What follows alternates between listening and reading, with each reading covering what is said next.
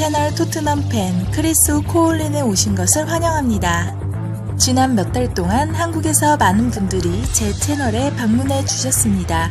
여러분 모두가 한국의 슈퍼스타 손흥민의 소식을 즐겨보시기 때문인데요.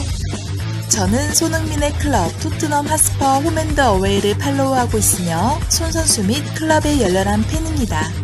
작년에 손흥민은 실제로 저에게 이 채널을 보고 있으며 컨텐츠를 즐기고 있다고 말했습니다. 만약 여러분이 토트넘 하스퍼에서 손흥민의 모든 소식을 제일 먼저 받고 싶다면 구독 버튼을 누른 뒤 해당 채널을 여러분의 친구 및 가족과 공유하세요. 이 영상의 자료 화면은 시작에 불과하기 때문에 향후의 콘텐츠를 애용해 주시길 바랍니다.